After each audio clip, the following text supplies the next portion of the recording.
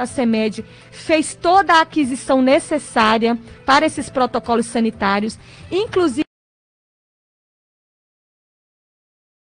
nessa obrigatoriedade do plano de retorno às aulas, que foi avaliado é, por vários órgãos de controle, esse plano de retorno. Então, a secretaria adquiriu álcool em gel, álcool líquido, máscara para todos os alunos, protetores faciais para os professores é, e para os demais profissionais, tapete sanitizante, totem de álcool, termômetro, tudo isso para que a gente pudesse dizer assim: rede municipal, vamos voltar.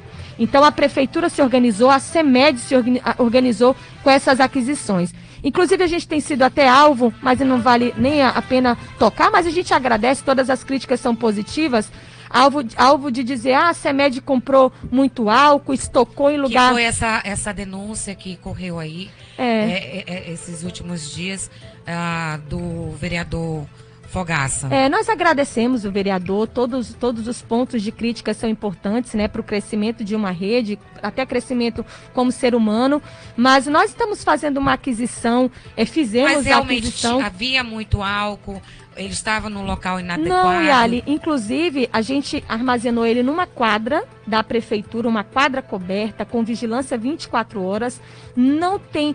Ninguém entra nessa essa quadra sem autorização, uma quadra coberta, os álcools são armazenados.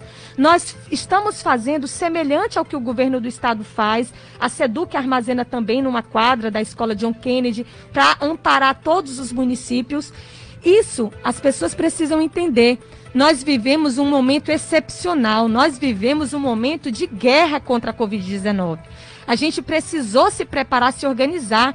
Isso era, era, era, era o, o, o mínimo que a gente poderia oferecer é o álcool para é, fazer com que a gente não tivesse uma contaminação de Covid nos nossos ambientes. Todos os municípios fizeram, todo o estado, todo mundo fez todo o país. Então, assim, a gente precisa realmente ter álcool.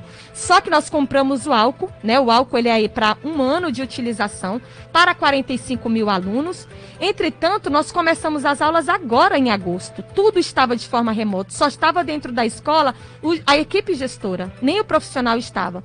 Então, agora nós estamos efetivando é, essa distribuição.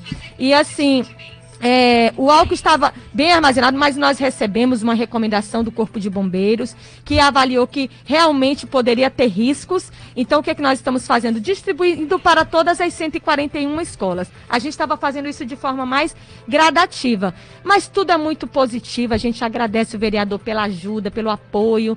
É, com certeza, é, quem sabe tivesse realmente algum, algum, algum sinistro. Então, que bom que ele veio nos ajudar, né? Para que a gente enxergasse isso e as escolas todas estão sendo contempladas. Serviço, tem a pandemia, é, não, é, não é um momento normal, a gente está no, no, momento normal e os vereadores também têm que fazer a parte deles Exatamente. E, e fiscalizar e, e até o sininho, né? Isso, a gente até agradece e parabeniza. Às vezes a senhora está preocupada ali com a máscara, com isso, com aquilo, ou, e a equipe toda envolvendo para o aluno, como a senhora estava falando, não chegar a pegar a, a, a Covid-19 e pode não, não, ter, aí vem um vereador e aí trabalha-se tudo em equipe é, e é, o... isso é que é que Exatamente. é bom, né? É, é a nossa bom. democracia, né? É, que bom, que bom, porque aí nos ajudou até a evitar qualquer situação. Então, muito obrigada ao vereador e a todos os envolvidos aí que estão nos apoiando nesse sentido. Mas o importante